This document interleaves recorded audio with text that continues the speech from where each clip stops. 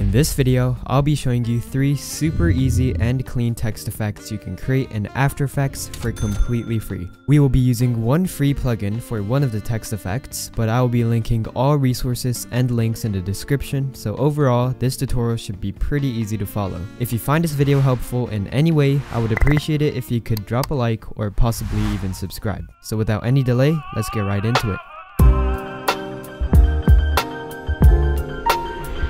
Okay, so the first text effect is this really clean pop-up animation.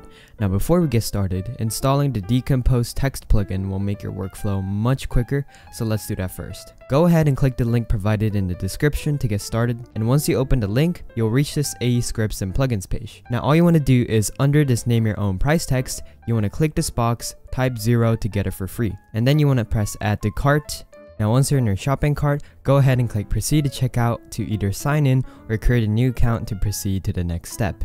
Once you've finished your checkout, go ahead and click your username on the top right of your screen right here and go to my downloads and licenses and you should find the decompose text plugin right here. Go ahead and click download. Okay, so once you have your decompose text plugin right here, you can right click it and then hit extract all and enter. Once you've extracted your file, go ahead and open it and you should find a file called decomposetext.jsx. Now from here, go ahead and select the file, right click and click copy. Once you do that, I want to locate your C drive and go to program files, Adobe, Adobe After Effects with your version, support files, scripts, and then script UI panels and I want you to hit Ctrl V right here to paste the file. I'm just going to go ahead and replace the file. And you're done. Now that you have the plugin, let's move on to After Effects. Alright, so now that we're in After Effects, let's start off by creating a new composition. Set your width to 1920, height to 1080, frame rate to 60, duration 10 seconds, and name it anything you would like. I'm gonna name it Text Animation 1. Go ahead and click OK. So now that we have our brand new composition, let's start off by creating a new text layer. You can do that by either hitting Ctrl T or clicking this text tool right here at the top. Once you do that, just click this empty area of your preview screen right here and make any text you would like. I'm just gonna name it Arial Effects. After that, I want you to hit Ctrl A to select the entirety of the text and make sure you find the Align tab to align them horizontally and vertically. If you don't have the Align window, all you want to do is go to Window and hit align right here. So now your text should be completely centered to your screen and ready to be animated. But before that, we need to make sure the anchor point for the text is at the center as well. And to do that, all you want to do is hit Y. And while dragging this little anchor point right here, I want you to hit Control and then just move it to the center and it should center right here. Now your text is ready to animate and now is the time to use our brand new decompose text plugin. To open it, I want you to click window and scroll down until you find this decompose text.jsx. Now go ahead and click it for me and you should open this little window right here. Now from here, I want you to select your text and make sure you have the same settings as mine and click decompose.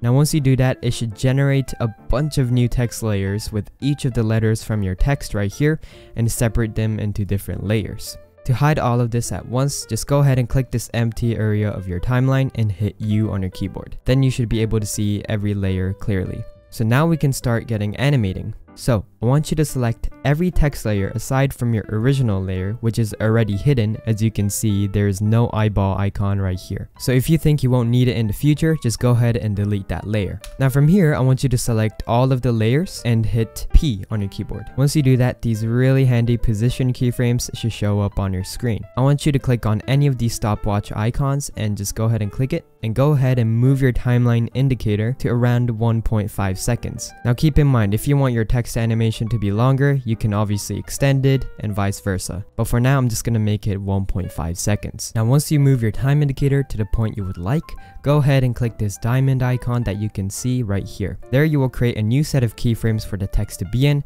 but it should be at the same position, so there should be no movement at all for now. Okay, then move your time indicator to 0 seconds select all of the keyframes at the start just like this and then use your Y positioning keyframe right here and then you want to hold it and then drag it down just like that. Drag it to the right. Okay so if you view your animation right now it should have a nice simple linear up animation. Now this is a very important foundation so make sure you remember this Okay, so after that, I want you to select all of your text once again, and we're gonna make a small fade in animation. I want you to move your time indicator to 0 seconds, while you're selecting all of the text.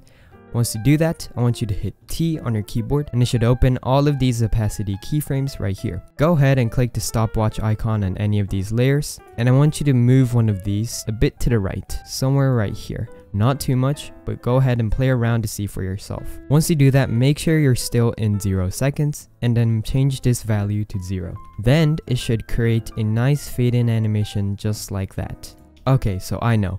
Right now it doesn't look anything similar to the animation you saw at the start, but don't worry, we're gonna get there in no time, so stay with me. After this, go ahead and go back to your position keyframes by selecting all of your text layers and hit P on your keyboard. Okay, so from here, what do you think we have to do to make this animation delayed character by character? Well, it's quite simple. Let me tell you a little tip. If you use your page up and down key, you can actually move your time indicator frame by frame. And this becomes really handy when you're trying to move things in small increments. I want you to move your time indicator to 0 seconds and select your second text layer from the top and move your time indicator for a couple of frames to the right.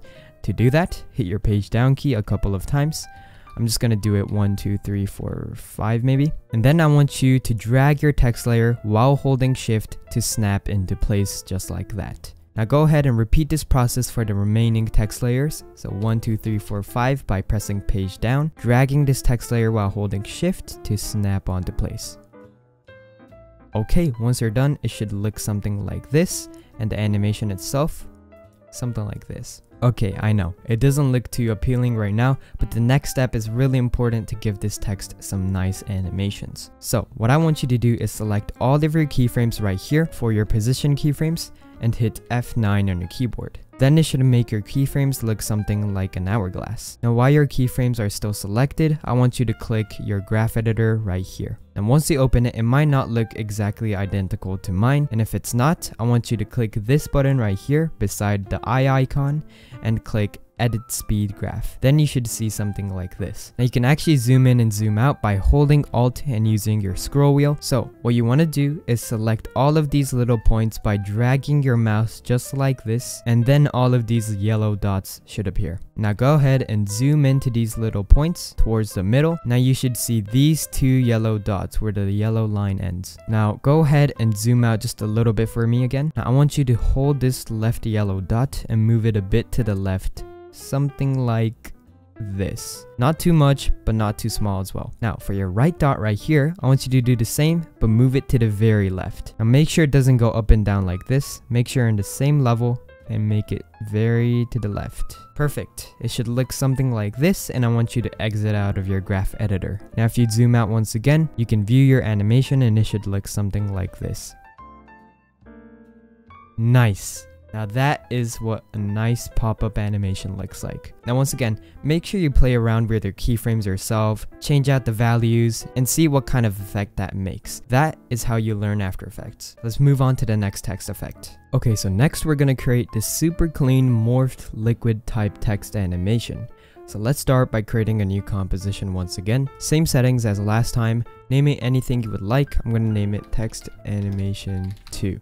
Okay, so once again, let's start off by creating a new text layer by hitting Ctrl T or clicking this button right here. Select anywhere on this screen and type anything you would like. This time I'll be typing subscribe. So once again, Ctrl A, align it with the Align tab, and move your anchor point by hitting Y to open up the tool, and move this while hitting Ctrl to center it. Now you can always hit V again to change your tool back to the Move tool. So the next thing I want you to do is select the text layer once again, and go to your effects and presets tab you can find somewhere around here. If you don't have this window, all you gotta do is click window right here and find effects and presets right here. Now that you have this search bar, I want you to search for roughen edges right here.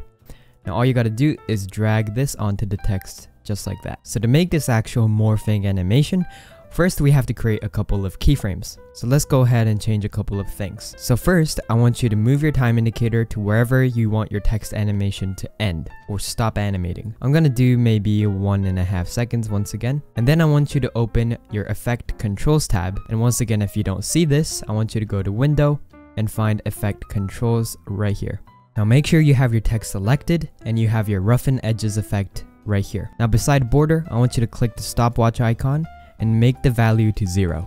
Now for the same thing for edge sharpness, click the stopwatch make the value to 0. Now these are the two main keyframes we're going to use to animate this text. Now while you have your text selected, go ahead and hit U on your keyboard to view these two keyframes. Now let's go ahead and move our time indicator to 0 seconds and change your edge sharpness to around 7. Now of course you can play around with these values later on to see how it looks, but for now we're going to keep it at 7. Now here is where the morphing comes in. You want to change the border and increase it to around 250. But this value is quite abstract, so I want you to play around with it and see what works best for you. And it should, according to my calculations, completely disappear from your screen. Or maybe just a small blob of white around the screen. But if you go ahead and view your animation right now, it should look something like this. Perfect. So what I can see from here is that it still doesn't have that morphing effect going on. So what I'm going to do is I'm going to go back to my effect controls tab and I'm to look for scale right here. And I'm to increase it till I kind of see a nice blobby effect. Something like this. Now I set it at 240, but once again I want you to play around and see what's best for you. Let's go ahead and preview our animation. Awesome. So it's not as smooth yet, so we're gonna go ahead and start easing our keyframes. Go ahead and select all of your keyframes right here and hit F9 on your keyboard to easy ease them. After this, I want you to open up your graph editor and I want you to go on edit to speed graph view by clicking this button and right here. Once you do that, I want you to just drag your mouse so you can select all of these points. And you should have these two yellow dots right here. To move around the timeline, you can hold space and hold left click to look around. Now after this, I want you to move this left yellow dot to a little bit to the left. And then I want you to move this right yellow dot to the very left. Now make sure this doesn't go up or down once again. Make sure this is straight so you see that orange line on the right. And exit out of your graph editor once it looks like this. So let's preview our animation. Awesome. This is how you make a super nice morphing text animation. Now, if you're encountering any problems creating these wonderful animations yourself, feel free to join my Discord, link in the description down below, where we have a lot of people who are willing to help. But without further ado, let's move on to the final text effect. Okay, so this final text animation is actually a pretty well-known and widely used effect amongst designers, and it is the good old classic handwritten effect. Super easy to make, so let's go. Let's create a new composition and name it anything you would like and feel free to copy down my settings. Click OK. Once you open it up, create a brand new text layer by hitting Ctrl T on your keyboard and then select anywhere on this screen. Type anything you would like, I'll name it handwritten, and then Ctrl A and same as always, align it to the center, hit Y to open your anchoring tool, drag this while holding control and center it just like that. So after this, all you want to do is put in the turbulent displace effect by going to effects and presets, search turbulent displace, drag it right onto the text. Now look a little bit wobbly at first, but if we change a couple of settings, we'll be right there. Let's change the amount to 12 and change the size to 13. Now it'll look just a slightly bit wobbly and this is a perfect amount for us to make the animation. Now after this, all you want to do is under the effects controls tab right here, go to evolution options and find random seed. Beside random seed, you'll find the stopwatch icon. I want you to hold alt and left click this stopwatch icon. Now create a new line right here and type time asterisk 10. Now this will create this really clean handwritten text effect. And to make this text look even more handwritten, I'm actually just gonna go ahead and change the font. Alright, so I just picked this random font and I think it looks fantastic. But once again, if you want to play around with the settings, for example the amount and the size, please feel free to do so and it should look a little different. If you want this effect to stand out more, I suggest you increase the amount and not the size. Now, we are done with the effect, but I suggest you do one thing. We can actually combine this with the previous roughen edges text effect we learned and actually make it look even better. Now this text effect doesn't have a pop-up animation, so if we do the previous roughen edges text effect, it would look something like this. Now this looks pretty clean if I do say so myself. Now before we end the video, I just want to mention that if you want access to all three of these text animation project files, I do have a Patreon page that you can check from the link in the description down below. And for an incredibly cheap price, you can get this and so many more other animations that you'll definitely find helpful. Now I would really appreciate it if you could drop a like or possibly even subscribe if you did find this video helpful in any way. But that's pretty much it for today's video. Thank you for watching and I'll see you guys in the next one. Bye!